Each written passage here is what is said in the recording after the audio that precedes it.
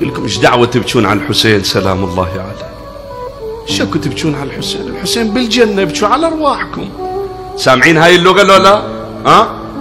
الله يرعاكم راح أعطيك بس حديث. ما راح أطول الموضوع. حديث أحفظه يقول لك شكو أنت ابكي على حالك. أنت ما تدري راح تروح للجنة لو لا. الحسين هسه يم جدة ويم أبوه ويم أمه. ابكي على حالك.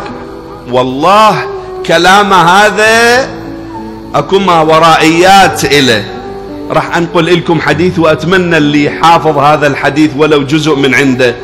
ها؟ خلي يردد وياي حتى يصير الجواب اللي يحجون هذا الكلام ويرتبط ويا موضوعنا تماما.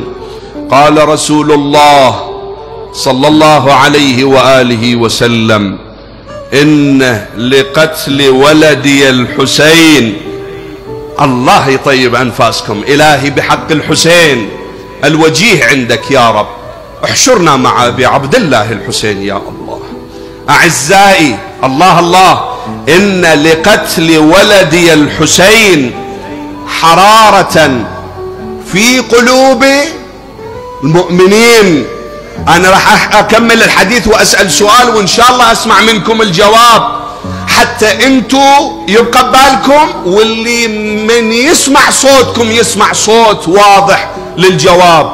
إن لقتل ولدي الحسين حرارة في قلوب المؤمنين لا تبرد أبدا. جاوبوني رحم الله والديك. اللي مصيبة الحسين باردة بقلبه يعني شنو؟ يعني شنو؟ واضح ها؟ واضح. الحديث لو لا؟ اللي ما باردة مصيبة عادة مصيبة الحسين تمر عليه أبدا ولا كأنه شيء هذا خطر أكو أكو ناقوس خطر لو لا؟ أكو جرس خطر لو لا؟ رسول الله يقول أنت إذا تريد تكتشف إيمانك